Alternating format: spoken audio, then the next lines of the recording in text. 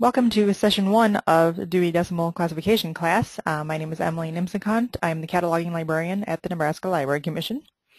Um, this class is going to be taking place in three sessions, as you probably know. There will be today, next Tuesday, and the Tuesday after that. Um, the sessions are scheduled for an hour and a half each. This one might be a little bit shorter. Um, what's going to happen in the other two sessions is that we'll spend the first half hour or so going over the assignment from the week before so that we can all benefit from each other's um, experience with the questions, and then we'll have about an hour's worth of content. So today there's obviously no um, assignment to go over, so we're just going to go ahead and jump into the content.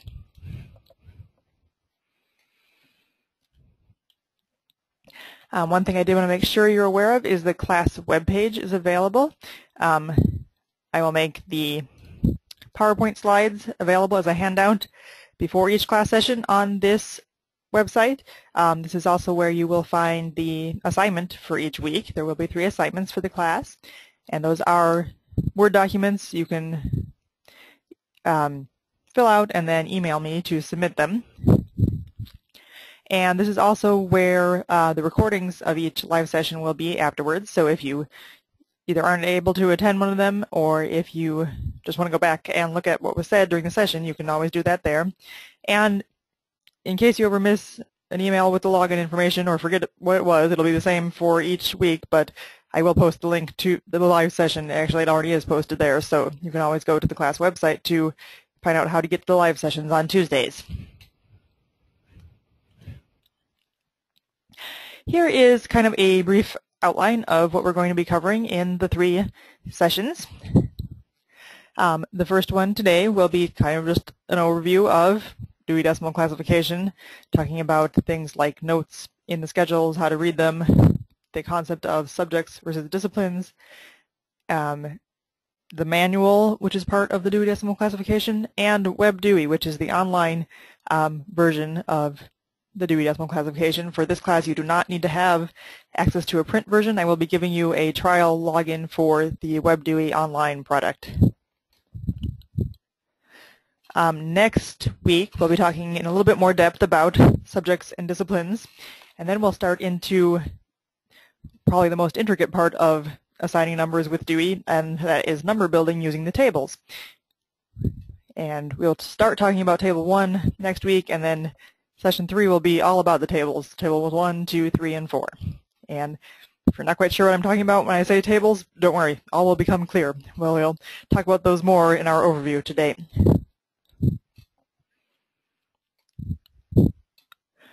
So here is kind of an overview of the current form of Dewey Decimal Classification. There are two versions, um, abridged versus full. Abridged is just what it sounds like. It's a shorter version. It doesn't go into as much depth. It's just, in the print version is just one volume. It only has four tables for building numbers, so um, the numbers are not as long as involved as they are with full Dewey. Generally, the rule of thumb is that it's appropriate for libraries with 20,000 titles or fewer. If you have fewer than 20,000 titles, you probably don't need really long, in-depth numbers that you would get with full Dewey. The full Dewey, on the other hand, in the print version is four volumes, has six tables for building numbers, and is appropriate for larger libraries, or perhaps some special libraries if you have, you know, a, a really, really in-depth coverage of a particular topic and you need to make distinctions between um, different facets of the topic that, you know, a more general library wouldn't need to make. Then you might need to um, have the full version of Dewey. Um, a new edition is issued in print about every seven years. Um, monthly updates are provided online. Obviously, the WebDewey online product is um, updated more often than that. It's updated quarterly. And here is the URL to OCLC's site for Dewey updates. I should say that the Dewey Decimal classification is a product of OCLC now. Um, it's not freely available. It's under copyright, and it is sold either in print or online through OCLC.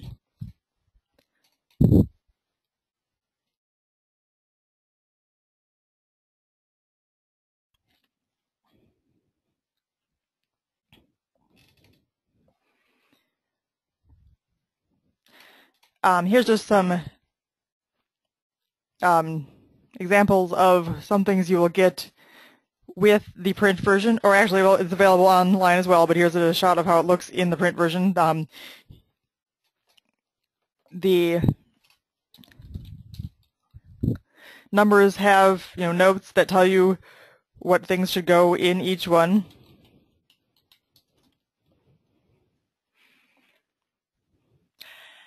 Um, here is the various parts of, well, we're going to focus more on abridged Dewey here, but basically full Dewey has these same parts. Um, generally, each edition will have a section on new features, things that were added since the last edition. The next part of DDC is the introduction, and with a lot of books, you know, you might think that the introduction is kind of extra material, something that you know you can probably skip and get to the meat of it. Um, if you're just starting with Dewey, I would definitely caution against doing that. The introduction is an integral part of Dewey. It has all the directions for how to use Dewey, basically. So do not disregard the introduction. The introduction has so much material that it actually has its own index and glossary, so that should tell you something about um, how involved the introduction is. Dewey also has a manual, which is basically where you can go to kind of read about distinctions between Dewey numbers that are commonly confused. A lot of times if you're in the schedules looking at a particular number and it will say for 423.1 versus 425.1, see the manual. And, you know, just it's explanations that are too long to fit into the actual text of the schedule will be found in the manual. For Then they're usually things that you know, are commonly mistaken for each other. So if there's a note about something that is in the manual, you can be rest assured that if you're unsure about something, a lot of other people have been too.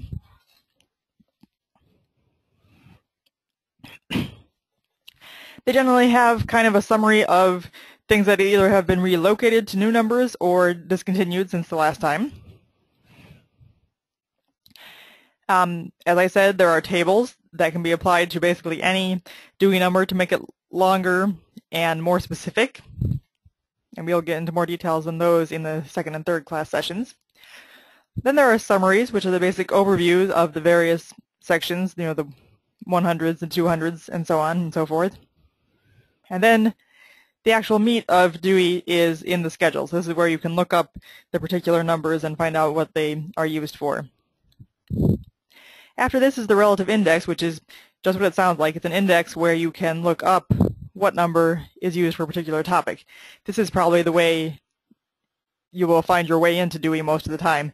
Um, if you know you have a book about dogs or camping or whatever, and you need to know the number, you will start looking in the index, which is the list of text terms, and then they will tell you which number to go to in the schedules.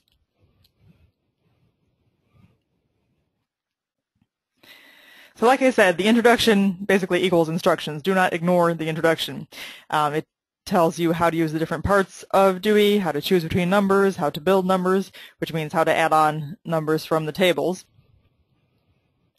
Um, I don't have it up on the class site yet, but I will be putting up a list of Dewey Decimal Classification resources, um, things that are either available online or here in print in the Library Commission's collection that you can check out. So look for that on the course webpage.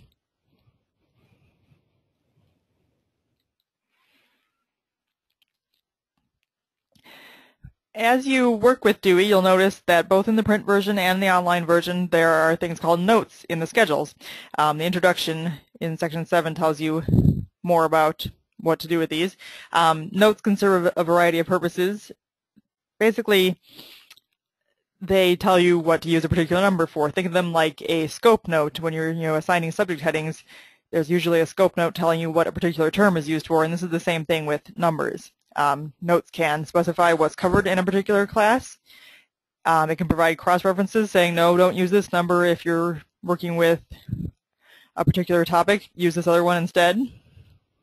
Um, it can provide some instructions on choosing between two classes that might seem equally good and building numbers, and it can describe various options if there are, you know, perhaps different aspects of a topic that are covered by two different numbers. we will discuss notes that tell you class here, meaning they describe what exactly is put at this particular call number, um, including notes. These, again, tell you sort of various topics that are included under a particular call number. Um, note that tell you to class something somewhere else. See also that tell you something that you might want to consider in addition a different number. See manual. As I told you, the manual can provide information about um, numbers that are often confused for each other. Um, standard subdivision notes are there. Um, standard subdivisions come from Table 1, and we're going to talk about that more later. But you will sometimes see notes that tell you a little bit more about how to use the standard subdivisions. And sometimes you'll see notes that start out with the words add to base number, and these are sort of examples of number building on a smaller scale. You don't use one of the extra tables, but it will tell you how to build numbers if you need to make a more specific call number.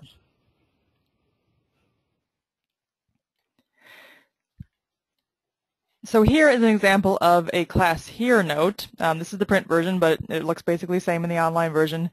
You know, if you're looking up at 005.74, that's the number for data files and databases.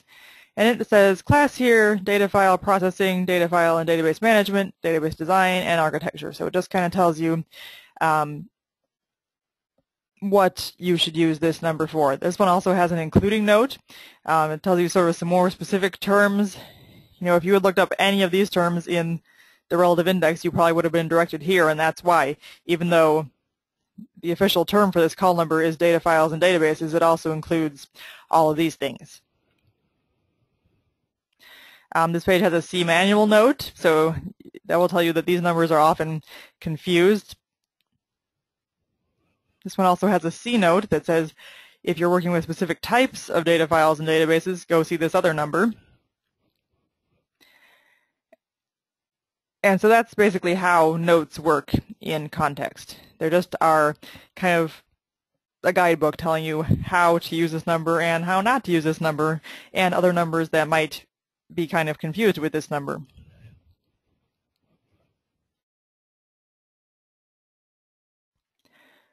Are there any questions so far before we kind of get into the meat of classifying with Dewey?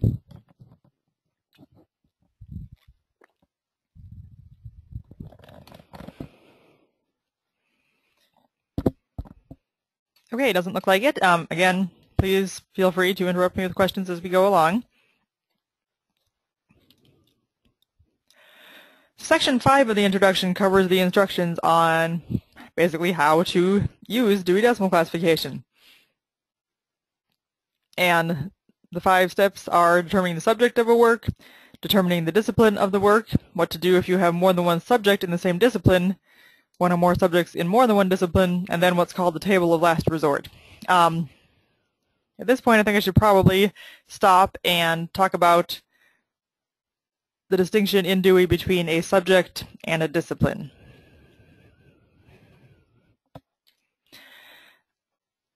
Um, the official definition from Dewey of a subject is an object of study or a topic. Um, it could be a person or a thing. Um, subjects are generally more specific than disciplines. So that's one way to think of it.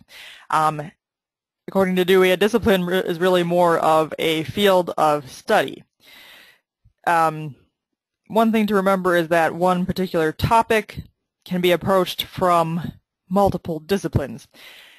Um, for example, if you were dealing with, say, the topic of dogs, you could either be dealing with sort of the domestic aspect of it, care for a pet dog, um, that would fall under the Dewey discipline of animal husbandry, or you could be interested in more the biology of dogs, and that would obviously fall under the discipline of biology. So sometimes you will look up a number or a topic in the relative index and see that it has multiple numbers listed that seem pretty far apart. You know, one will be in the 600s and one will be in the 700s or something like that, and that generally means that this topic could be approached from various disciplines. So disciplines are more broad, and they're really more fields of study, whereas subjects are more specific topics.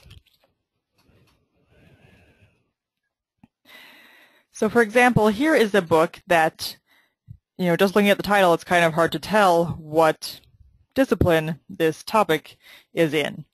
And so we'll go through kind of a number of options as for how this could be treated. Obviously, if you're actually cataloging it and you have the book in front of you, you will have more information about where it should go. But this will, as we're going through this, you'll start to see how you would navigate Dewey in order to find the number you're looking for. So we had a book called Ciphers, Breaking the Code. And so we'll start out showing you how to do it in the print Dewey, but then we'll switch to the online web Dewey since that's what you'll probably be using for the class. So if you browse the relative index and looked for ciphers, you would see it's under ciphers with cryptography in parentheses, and it directs you to number 652. So when you go to 652, you'll see it's under the larger heading of processes of written communication. And it says includes interdisciplinary works on cryptography.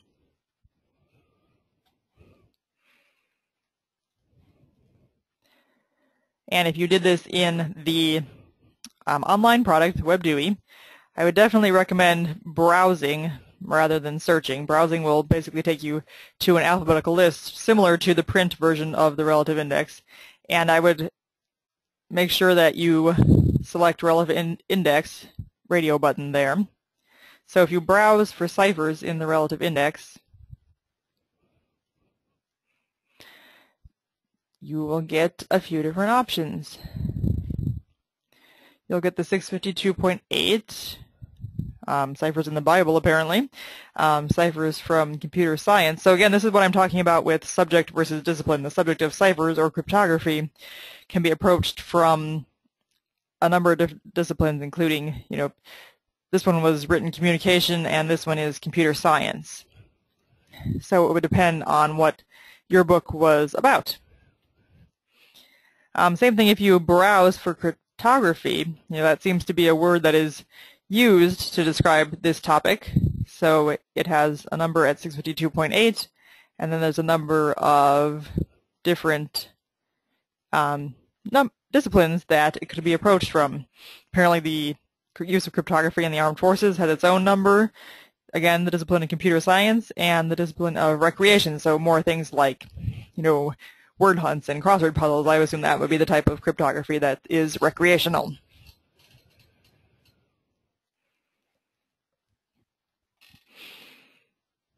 here's again just a little bit closer up. If you, and to refresh on how we got here, we browsed for cryptography. Make sure browse is selected and make sure relative index is selected. You know, just so as you're going through when you're doing your assignments with WebDewey, if you get results that really don't make sense, I would, you know, encourage you to check those two things. Make sure you're browsing and make sure you're in the relative index.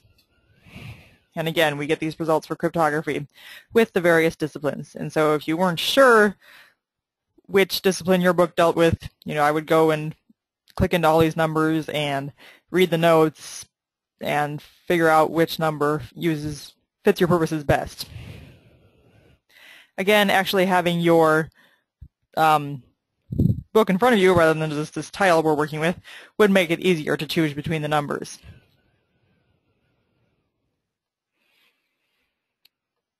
But again, you'll notice that once you click through to one of those numbers, you will be taken to that place in the schedule. You know, if you were working with the print version, you would have to flip to that particular place in the book, but with the online version, you can just use the hyperlinks.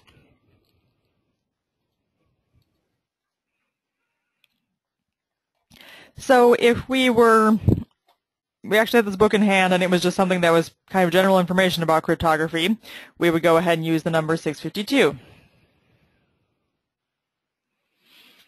Um, you'll notice that there's a note here that says class year interdisciplinary works on cryptography. Um, that would mean if you have a work, interdisciplinary work is one where the topic is approached from more than one discipline. So if it had information on both recreational uses of cryptography and computer science uses of cryptography, for example. That would go in 652 and most likely 652.8 for the interdisciplinary number.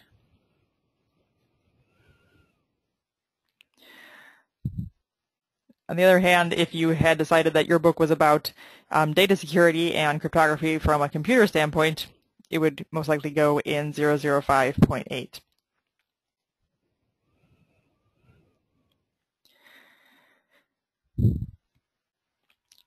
So I've been covering browsing so far when I've been talking about navigating Dewey and the relative index especially, and I, for the most part I would recommend that, but I will talk a little bit more about the search interface of WebDewey. If you choose to search, um, and you go, I would recommend going to advanced search, so you have more options. Uh, if you want to search in relative index, you can.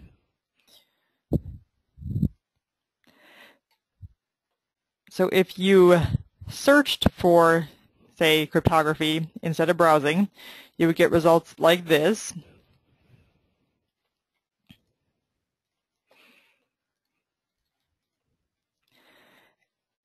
And one thing you'll notice about this is that the word you search for can be used in basically any area of the Dewey schedules. Um, usually if you're browsing the relative index, you're going to just find things that are actual headings used as part of the Dewey numbers. Um, you know, it would be something that would be in bold like this. But we search for cryptography and you'll see that it just appears in a note.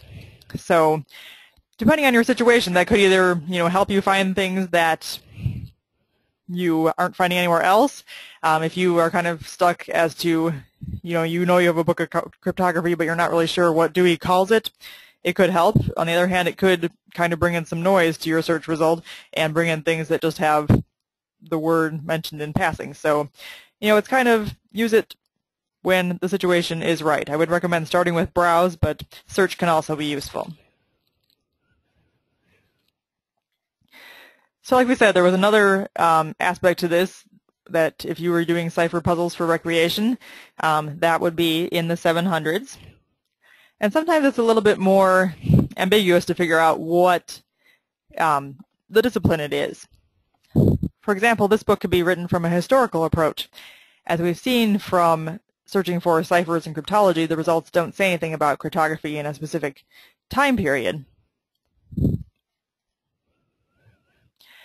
So you might have to kind of search from a different angle. You might try searching or browsing for World War II.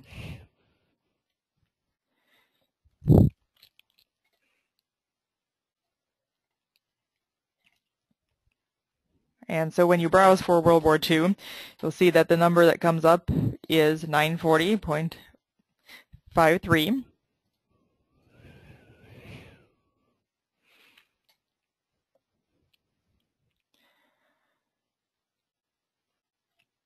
And so again, if you click through the schedules, that is the number for World War II.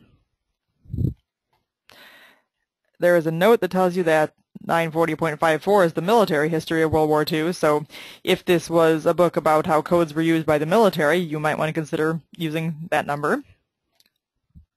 So there's some art involved to doing numbers. Um, it isn't always an exact science, um, and the main thing to remember, you know, coming away from all this is a big factor in deciding between numbers is what works best in your collection. You know, if you have other books on similar topics and you want it to be close to that one so that when people are browsing, they can find them together, you know, definitely make that a consideration. You don't have to blindly accept whatever comes in a record you're copy cataloging. You know, definitely still use your judgment and you know, don't get paralyzed trying to decide between two numbers. Just you know, make the call based on your local collection. So now that we've talked about determining the subject of a work and determining the discipline of a work, how do you handle books that have more than one subject in the same discipline? And here are a set of rules that you can use to decide. These are laid out in the instructions in the introduction of Dewey. You kind of take these in order. First you check and see if the fuller treatment rule applies, and we're going to go through all these separately, but this is just sort of the order of preference. You check for fuller treatment, then the first of two, rule of three, rule of zero, and rule of application. And we'll go through each one one at a time here.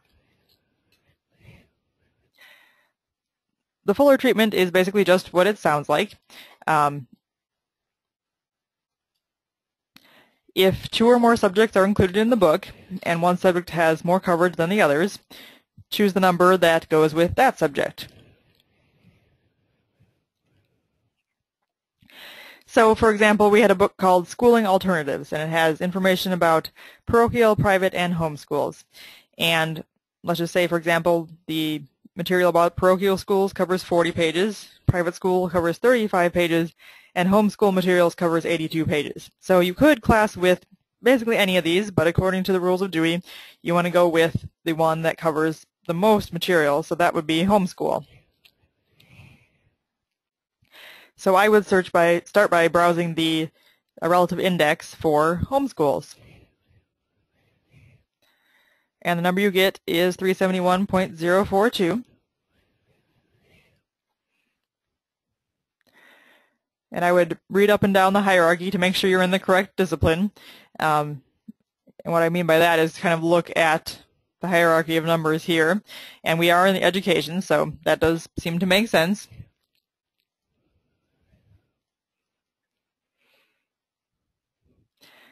I would recommend going up a level in the hierarchy to check for any instructions that contradict that uh, most specific number. I would look down in the notes and see if there's anything that tells you not to use that number.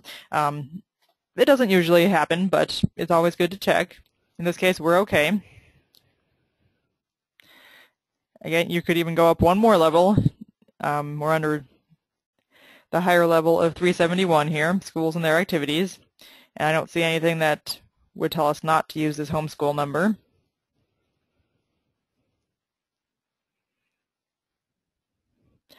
And one more level, up at 370. There are some notes, but it does not tell us anything about the alternative schools, so we are okay to use the homeschool number, I would say.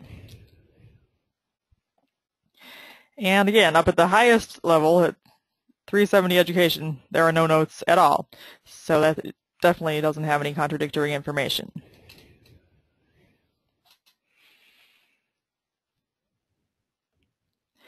The instructions here include what's called a table of preference. Um, I just want to stop and point this out as something you'll see sometimes um, in various areas of the instructions.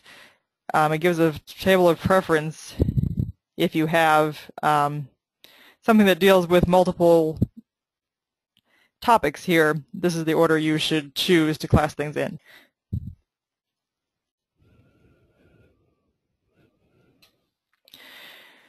Um, just really quick, so we I think we're pretty sure we're going to use the homeschool number because that has the most coverage, fuller treatment. But just to kind of show you the numbers for private schools and parochial schools, you'll see that religious schools is 371.07.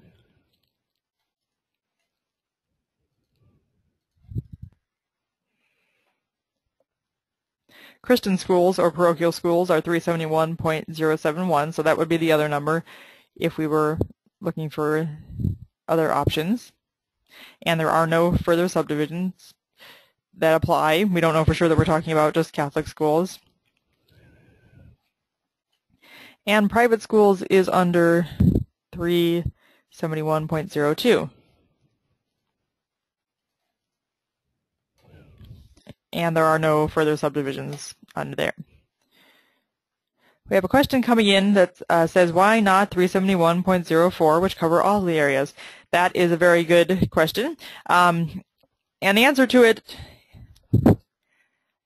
I guess um, there are situations in which if you had a book covering all three of these, you would. Um, but that would be used mostly when the treatment is more equal if, you know, there were about 40 pages on each of the topics. In this case, um, the discrepancy between them is so large. Let me go back to that screen. Um, you know, parochial school material and private school material covers 35 to 40 pages, and homeschool material is almost twice that. So in this case, according to the rules laid out in Dewey, we should go with the topic that really is covered the most. Again, that's strict interpretation of the Dewey rules. If you feel that you know your patrons would be better served by using that, you could certainly go ahead and do that. And as we'll see, that is definitely the option to do when the treatment of all three topics is equal, but in this case where there is a clear-cut topic that is covered more fully than the others, the Dewey rules say to go with the number for that topic.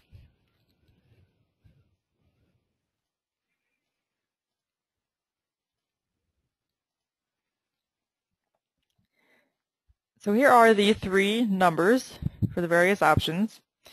And according to Fuller treatment rule, we would go with the number for homeschools, so 371.04.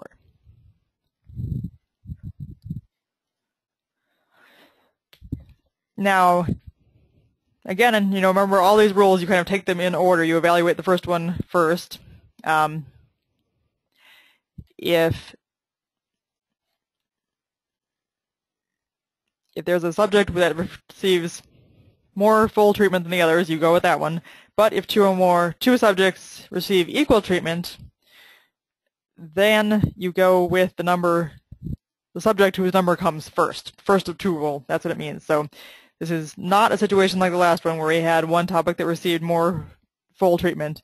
In this case, if you have a topic that has two subjects and they're both treated equally, then you go with the one whose number comes first. Um, as we'll see, there are two exceptions to this, unless there are instructions that say otherwise, and unless the two topics are the only two major subdivisions of a subject, and we'll see examples of all of these.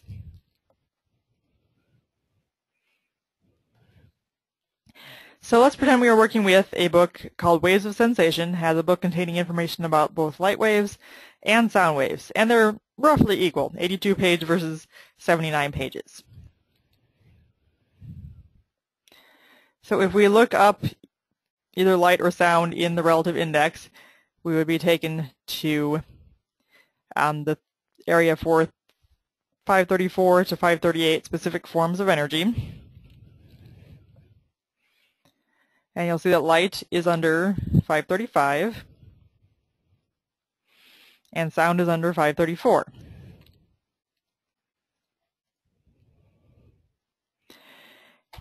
Now remember, one of the, the exceptions to this rule is if there were only two subdivisions. If sound and light were the only two subdivisions, then we would have to, to think differently about this. But since there are also other subdivisions for heat, electricity, and magnetism, then we simply apply the first of two rule and we go with the number that comes first in the schedules. And so that it would be 534 for sound because it comes before light. So I would classify this book given the information we have, with sound at number 534.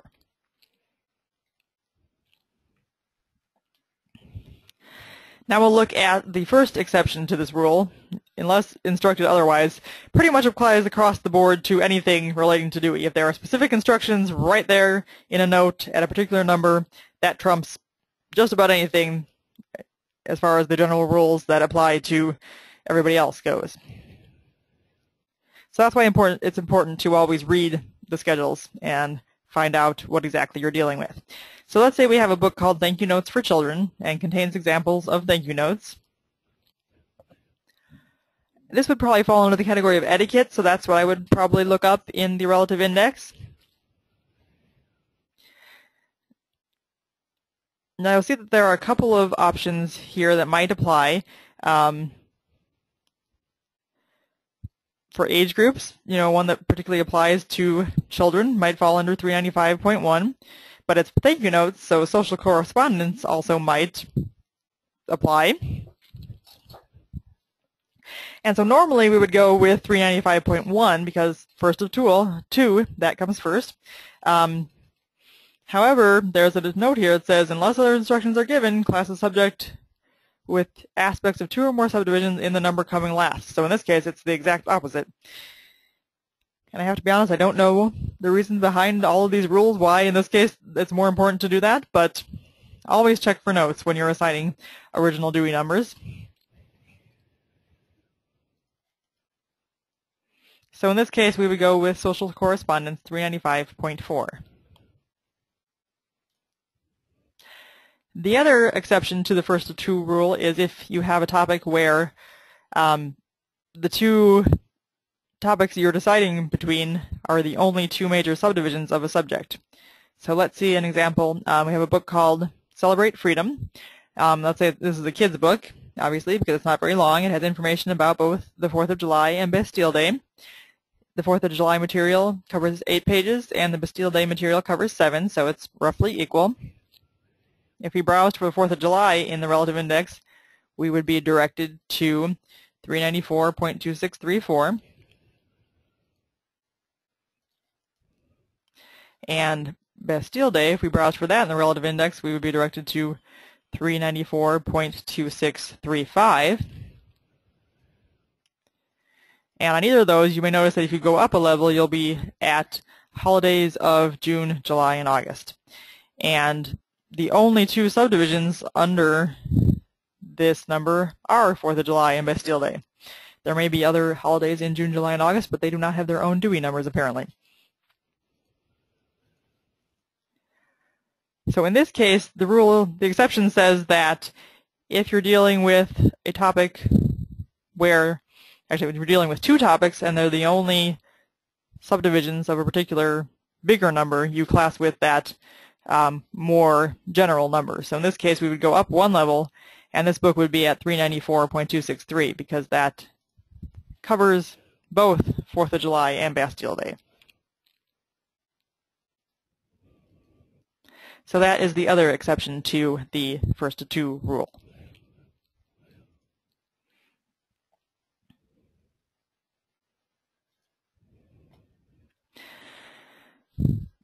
Now, if you have a book with not two subjects, but three subjects, in that case, rather than using first of two, you would go with the rule of three, which says to class a work on three or more subjects that are all subdivisions of the same broader subject in the first higher number that includes them all. So basically what we just did there with 4th of July and Bastille Day, where we picked the more general number that includes both of them, that's what you always do if you have three or more subjects that are all treated basically equally. So going back to our schooling alternatives example, it still contains parochial, private, and homeschool information, but let's say that instead of having homeschools receive the fullest treatment, everything's roughly equal. We have parochial schools for 40 pages, private schools 35 pages, and homeschools now 38 pages instead of 82. So they're all basically equal. So the rule of fuller treatment doesn't apply. In this case, the rule of three applies. So this would be the case in which you would go with the um, 371.04. That is the first more general number that includes the numbers for all of the topics that this book includes. Again, I would recommend you go up one level just to make sure there's no instructions that tell you to do differently. You know, you would be on the lookout for things like a table of preference or, you know, anything else that contradicts the notes at the specific numbers. In this case, we're okay.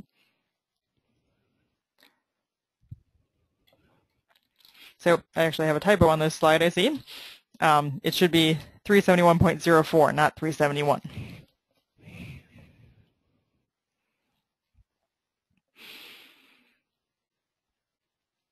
This next rule you'll see probably less frequently. I would say most of the time your decisions will fall under either the rule of fuller treatment, the first of two rule, or the rule of three. Um, but occasionally you'll see the rule of zero.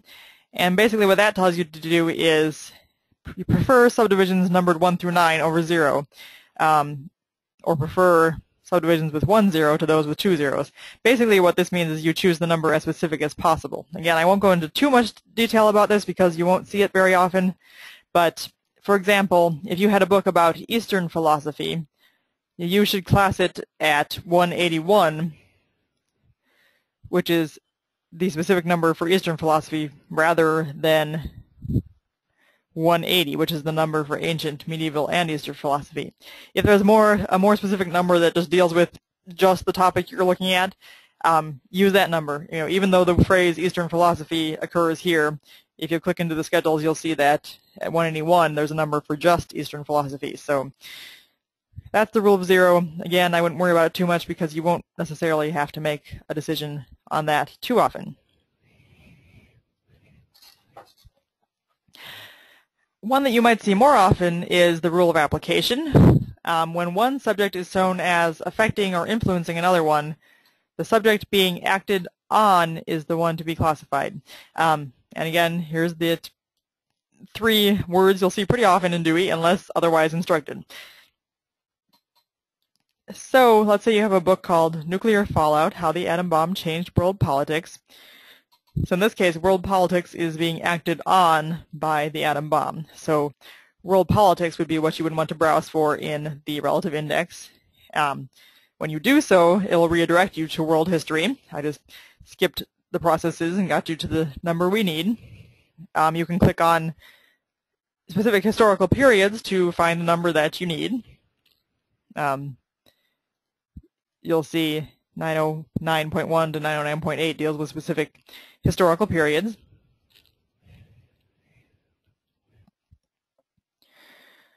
Um, looking more closely at the book, you know, would probably tell you if, if there's a more specific time period. Um, I'm going to assume that the atom bomb was sometime in the 20th century.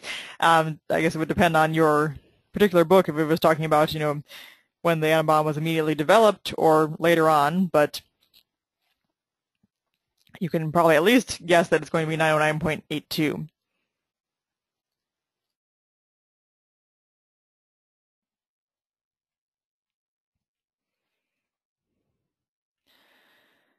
So knowing what we do about the book, um, because the atom bomb is acting upon world politics, world politics, or world history, as the accepted term in Dewey goes, would be the number we would go with, rather than the atom bomb.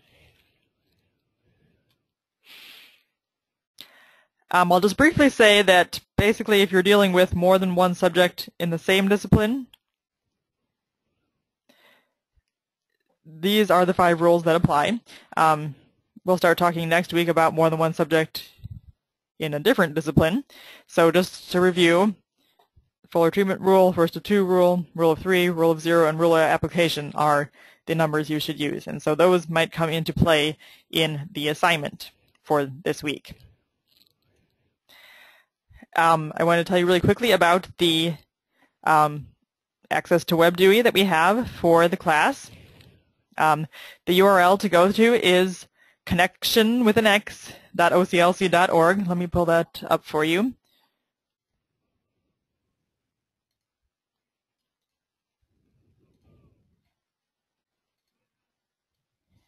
Okay.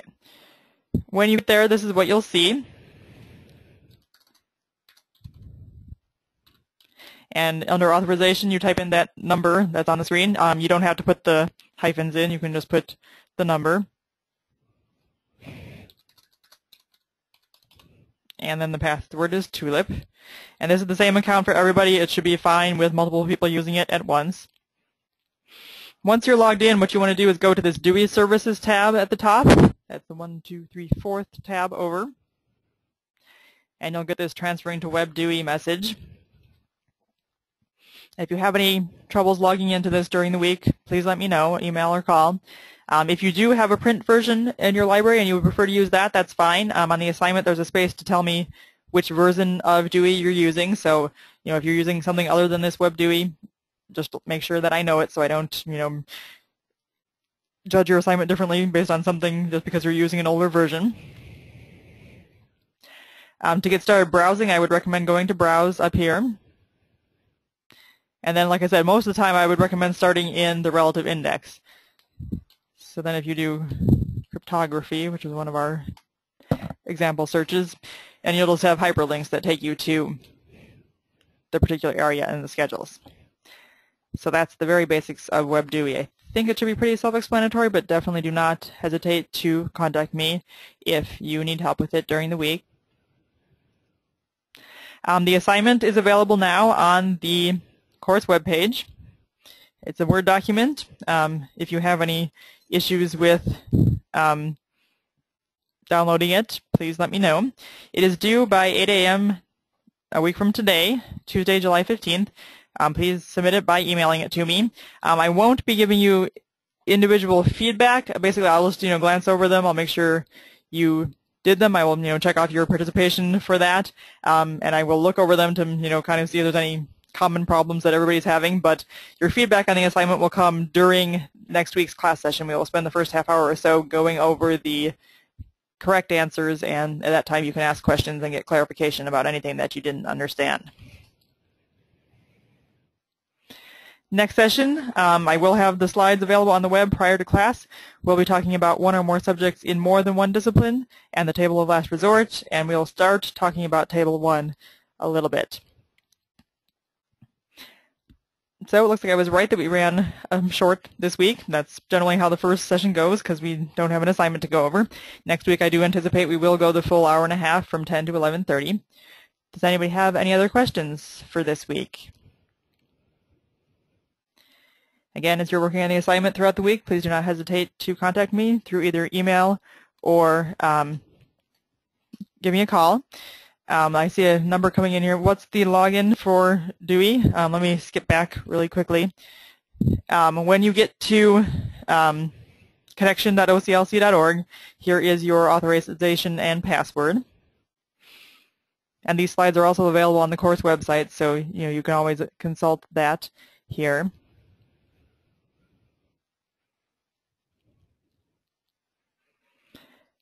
But if there are no other questions, then um, thank you for joining me, and I will see you again online next week.